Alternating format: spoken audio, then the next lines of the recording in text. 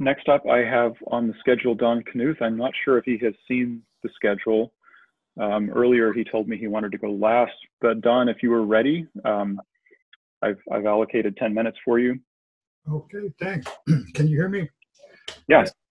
Oh, all right. Um, well, I, I, the reason I wanted to be last was so, was so that I could uh, listen to what everybody else had, had said, so that I wouldn't duplicate any of it, and I would try to fill in uh, uh, things that I uh, that I hadn't heard so far. And uh, uh, and of course, John covered so many bases that. I, I, still have a lot of things that I have that I didn't hear. That so, so, so I'm going to try to get. I'm going to try to get through. Um, but the uh, but I, I, guess I mainly I, I, I got to say so overall there's this uh, uh, well superlatives fail me. Uh, the best way I can, I can describe John's significance to me personally is that uh, uh, well let's see.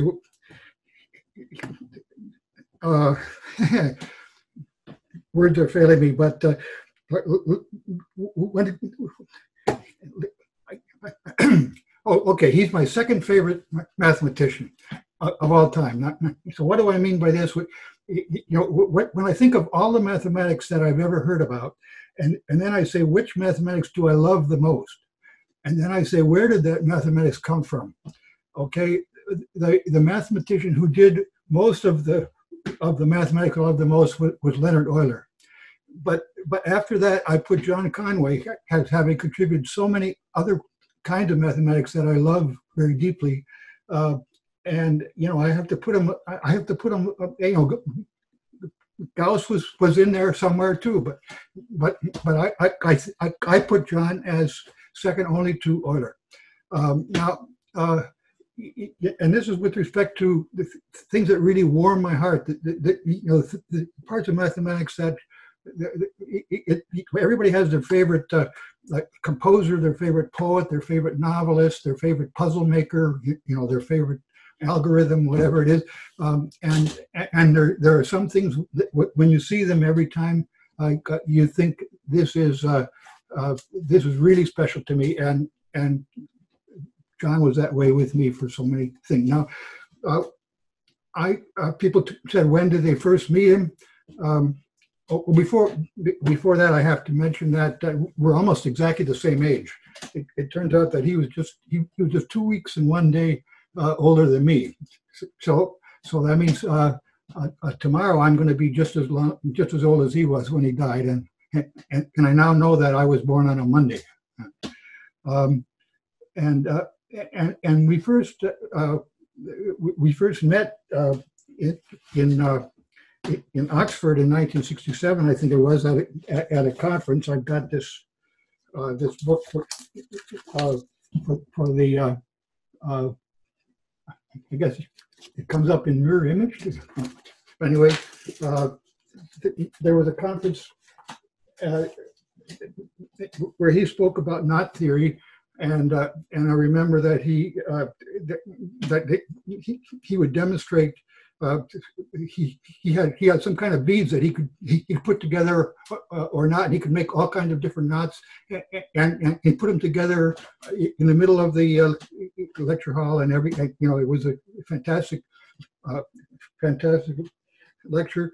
Uh, it turned out that that the uh, that the stuff he was talking about in knot theory was a revolutionary new, new notation that he had actually invented as an undergraduate in 1958.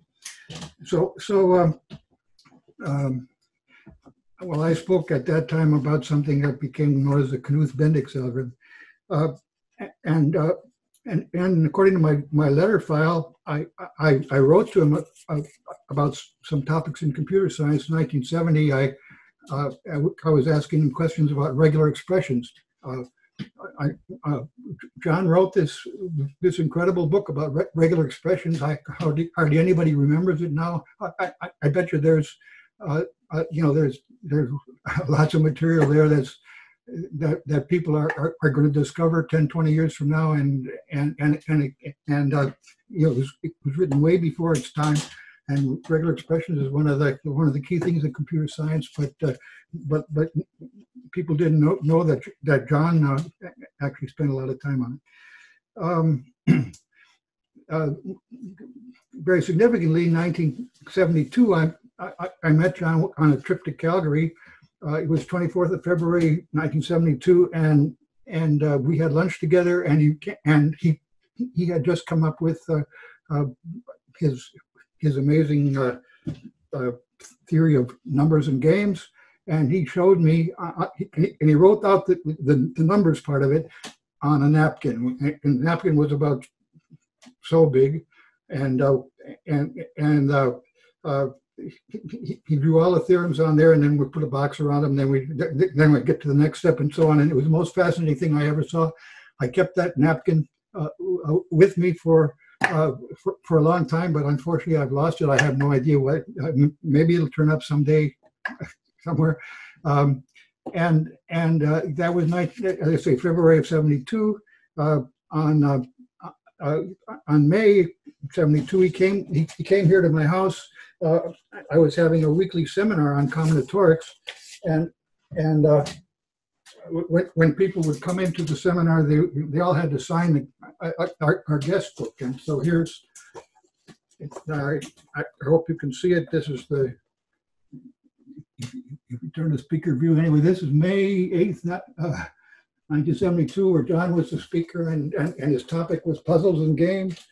And uh, uh, I, I, I, looked through the, the, the, list of all the uh, of all the people who signed in. I went on like the next page, but I I don't think any of the any of you were uh, were in this in this list. Uh, not even Scott Kim, but uh, but uh, uh, so many, you know, interesting names like Richard Stanley and so on. Uh, then um, December of 1972, uh, I woke up in the morning, or I couldn't sleep at four o'clock in the morning. I and I decided to write this book called Surreal Numbers. The whole, the whole, whole thing came to me, uh, you, you, know, a creation story, but but instead of of, of Yovav doing the creation, it's J.H.W.H. Conway doing the creation. Well, well uh, okay, I told you I, I, I, talked too much about this, but but I, after six days, uh, I finished it, and on the seventh day I rested.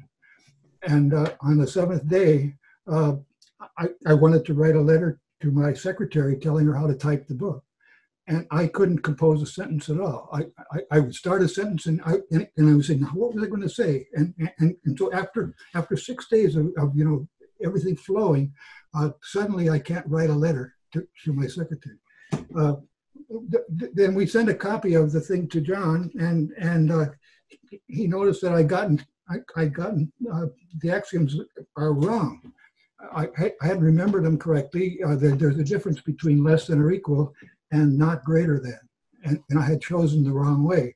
Um, and and so uh, uh, uh, he, and he showed me. I visited him at, at Easter time that that year, '73, and uh, and we and he showed me the, the, the book he was numbers and games that he was that he was writing, and he and he introduced me to Simon Norton, who was who was uh, doing all kind of amazing things with surreal numbers and and uh, so anyway, uh, uh, I went back in the summer to to a to a uh, a, a, little. Um, uh, uh, it's called Sulheim, it, this was in, in the remote valley of Norway where nobody spoke English, and I and I, I rewrote the book six more days using the correct accents, and and it came out better that way. I, the, the theorems were, weren't as difficult to, uh, to derive as I had had before.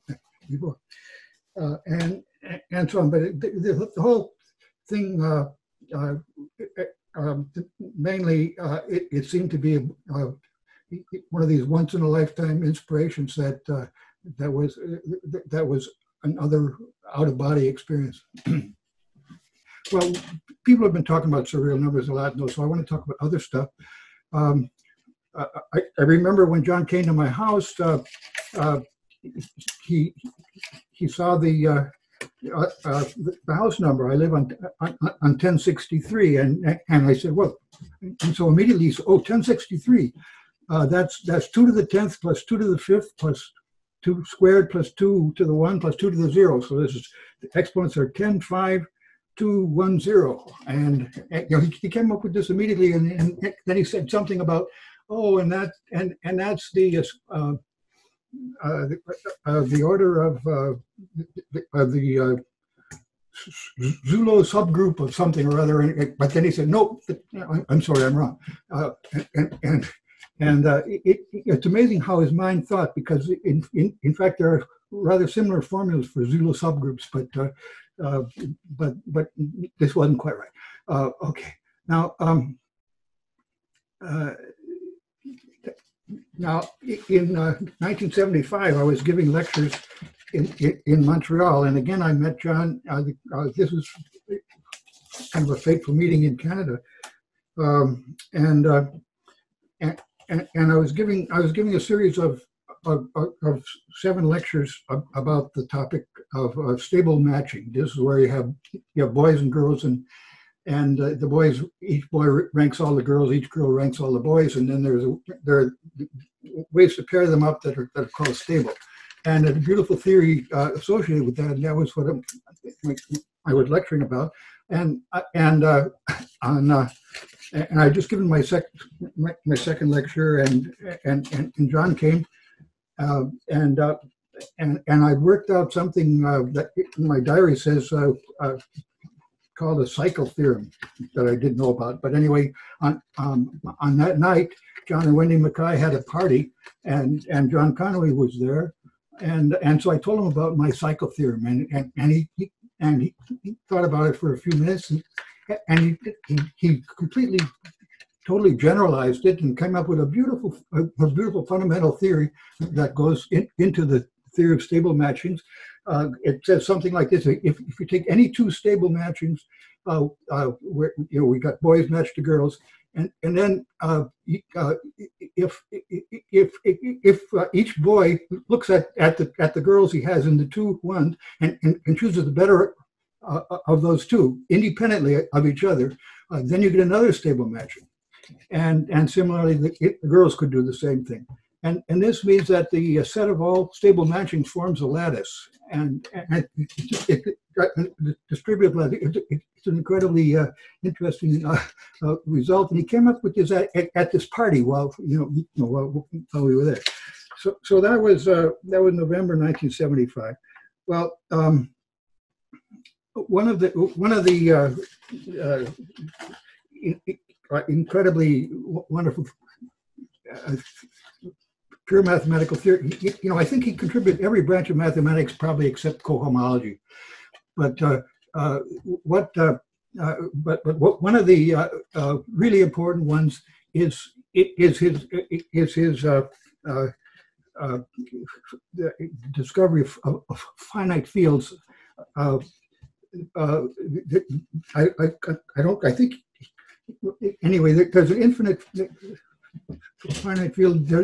Excuse me, I'm, I've got to tell a little story here. It, it, it, it's one of the. It's one of it, kind of a scandal in mathematics that that uh, that that finite fields. Uh, uh, you know, exist for for the, every power of every prime, but but the proof is non-constructive. Uh, you, you, nobody knows how to construct a, a, a, a, finite field of order three to the uh, uh, 20th. Uh, you, it's not hard to find one. Uh, you, you, just try a few things and and and, uh, and pretty soon you hit what you hit when you find an irreducible polynomial. But nobody knows a way to construct irreducible polynomials for, for a, a, prime and a power. Uh, uh, uh, it's, just something that that we can show it, it, it does exist.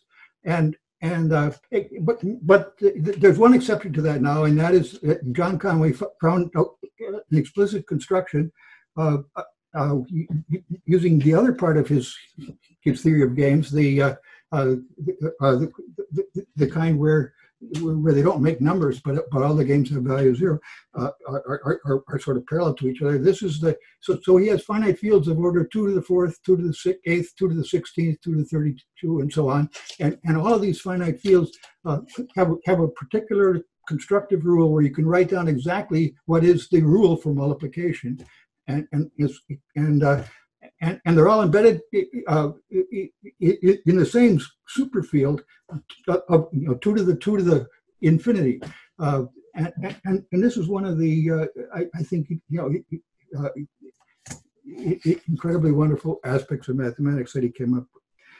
Now, um, uh, since since Peter Week, since Peter Winkler spoke, I I wanted to mention uh, uh, Uh, something out of uh, out, of Peter's book uh, on, on, mathematical puzzles um, called uh, uh, Conway's napkin problem, and and, and, and John was at this at this dinner at Bell Labs, and Peter was there, and, and, and there are these people sitting at a circular table, and, and between every two seats is a napkin uh, you get to the table, and the first person that gets there gets to choose whether he wants the napkin on the left or the or, or, or the napkin on the right. And, and, you know, another person comes in, and uh, and uh, so so uh, uh, uh, John said, "Oh, here's a great problem. What's the probability that that everybody gets a napkin?" Because it, it, it, if everybody's left-handed, then they all get a napkin. But if, if some are left-handed, some are right-handed, there's a, a, kind of a clash. And and so uh, the, so it turned out that this is a really interesting problem where the uh, where you have two to the n times n factorial possibilities. You have n factorial orders in which the people could come in and and and each each one can prefer left or right. And uh, and and uh, I learned about this uh, through through Peter Winkler's problem book, and then and, and then I, uh, I, I, I, told uh, uh, several mathematicians uh, who, who, wrote this paper uh, uh, about neat ways to generalize it, where you have probability p and of being left-handed and, and so on. Um, well, I got to say quickly, uh, uh, in 1990, uh, several dozen of us were at a conference, and and, and we and we were in Burlington, Vermont, and uh, and and we went.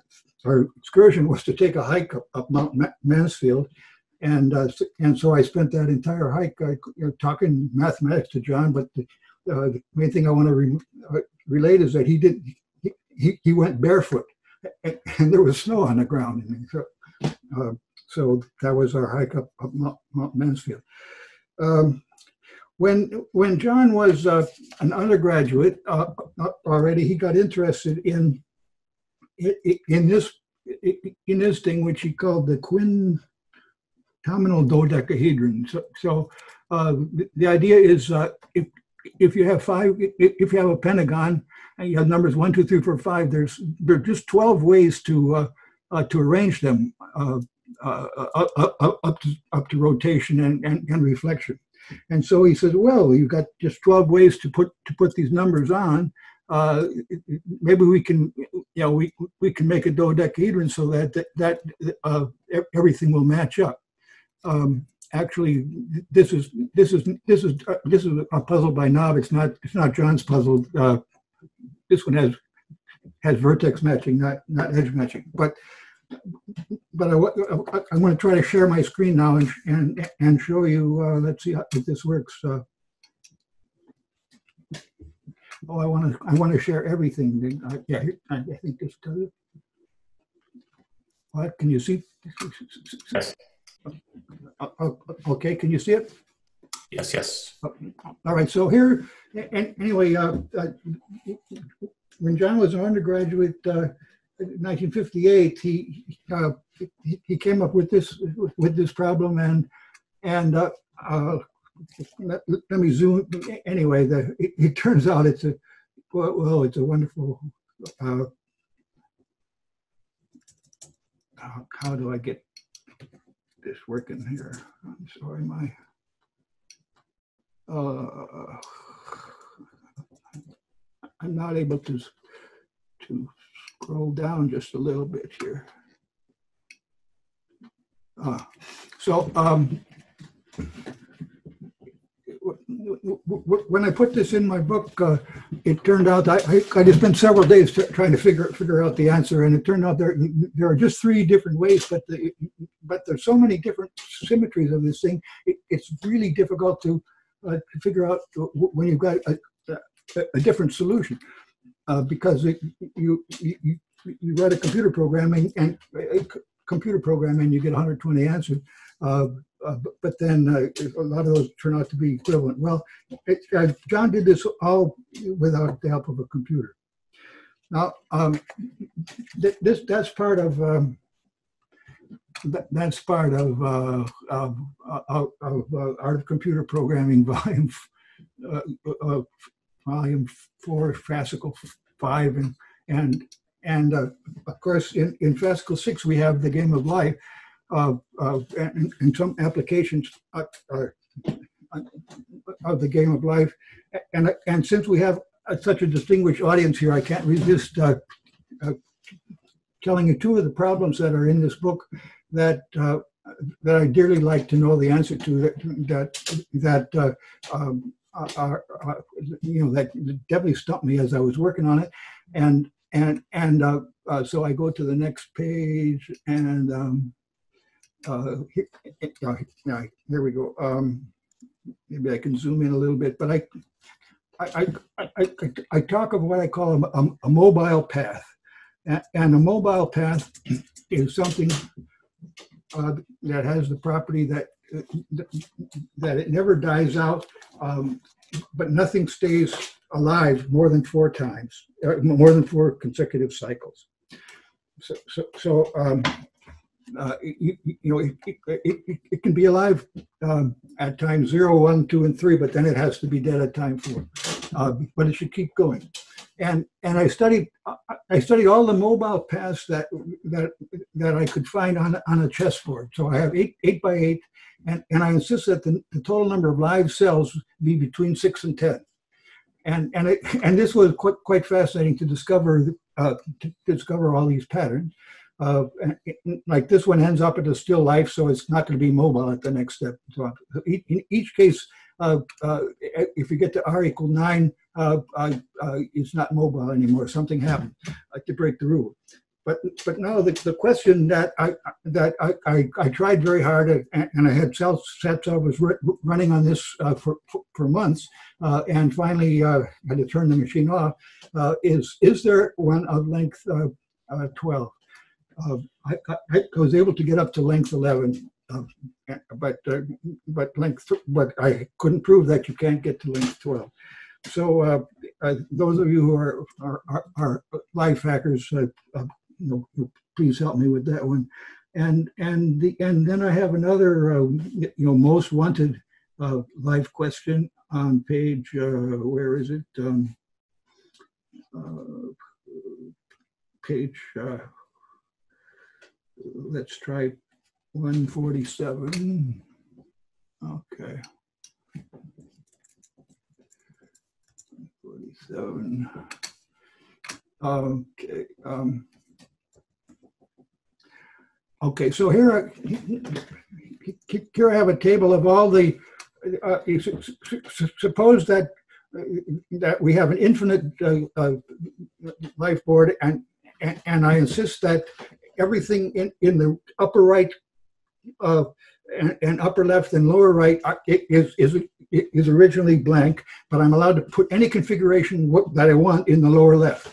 Now, how long? What's the earliest time that I can get uh, that I can turn on one of the uh, cells up here. So, so uh, it, it always takes me two steps at least to get to here, but you know, what, only one step, of course, to get here, and, and, and take me 20 steps to get uh, to go from here, depending on what I want. Okay, now the uh, I I have a formula uh, that that that is a lower bound, uh, saying that you always need at least that many uh, that, that many steps. No matter what you put in the lower left corner, it's yeah, you, you can't possibly get get there fast.